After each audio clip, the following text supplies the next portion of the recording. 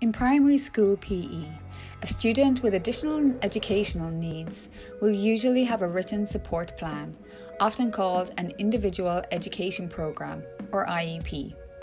And this is ideally developed by a multidisciplinary team consisting of a student, a parent or guardian, and relevant school professionals. PE should be included within the student's IEP. However, this is not always the case, so you may need to emphasise the value and importance of physical education. The International Classification of Functioning, Disability and Health, developed by the World Health Organization, is a framework that helps to understand how someone's additional needs or disability will affect their participation. In physical activity and education, participation can be supported by combining knowledge of the student's functioning and other contextual factors with a definition or analysis of the task or learning outcomes. With this information, you and the team can make an informed decision on placement options for the student.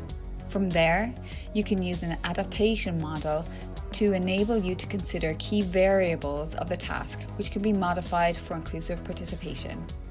Let's take a look at each step in greater detail. Knowledge of functioning and contextual factors.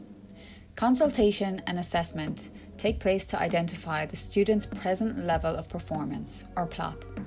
There are various assessment tools that can be used.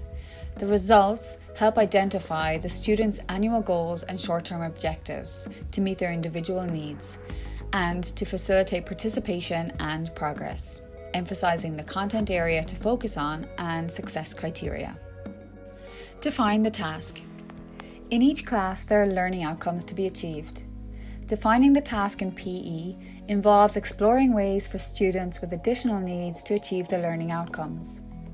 If there is an emphasis on specific movement skills, some students with additional needs may not have the ability to accomplish those skills. However, if you zoom out and consider that various sets of skills or techniques can achieve certain functional movements and psychomotor learning outcomes, there's a greater scope for inclusion by adapting the learning outcomes.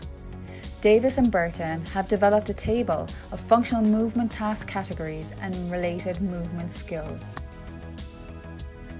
For example, let's take the functional movement task reception, which is to receive an object that is propelled from another student. Related skills can include grasping and catching. Student A, who has an amputation on one arm above the elbow, may use both arms, including the partial limb, and with a wide base, she may position herself using her body more in the catch. Student B, who has a lot of difficulty using both arms and uses a power chair due to muscular dystrophy, may position herself in such a way that she receives the ball on her lap or into a basket on her lap. Student C, who has no additional needs, may grasp the ball with both hands, facing the ball with a wide base. Placement options relate to the most appropriate setting within the least restrictive environment, considering a student's skills, abilities, and available resources. Lauren Lieberman and her colleagues have developed a continuum of placement options in PE. Once the most appropriate placement is decided by the IEP team, there is another setting related tool for use within the classroom that allows you to structure each lesson to facilitate inclusion in a way that best suits the diverse needs of the students. This is the inclusion spectrum, and it outlines five different yet overlapping settings within inclusive PE class. Open activities in which everyone participates, modified activities which are adapted for inclusion, separate or alternative activities, parallel groups according to ability, and disability sport, which gives students without disabilities an opportunity to participate in activities designed specifically for people with disabilities.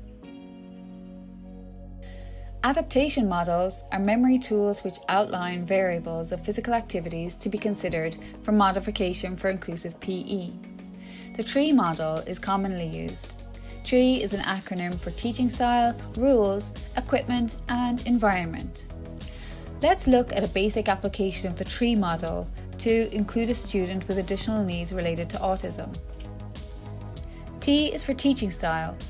The key is that instruction is understood. And an effective form of communication and instruction for many children with autism is visual cues like laminated cue cards supported by clear, concise verbal keywords.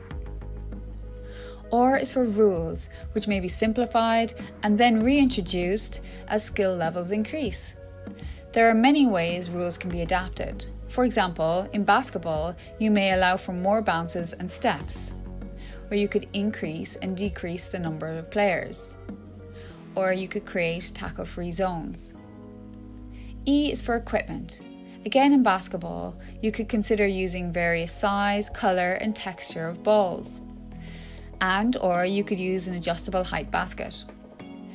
If the student is sensitive to complex noise, like a noisy background, they may wear noise cancelling headphones, and you could also use an alternative to a whistle. E is also for environment, and this relates to the space and physical access. If the student is easily distracted, ensure there are no equipment lying around unnecessarily. If they're sensitive to boisterous activity, you may introduce playing zones to avoid players crowding. As you can see, the four overarching steps in this model aim to guide PE teachers through the process of including students with additional needs. These steps are signposts to inclusion rather than off the shelf solutions, and the specific details of each step will depend on the student with additional needs, all other students, and the available resources.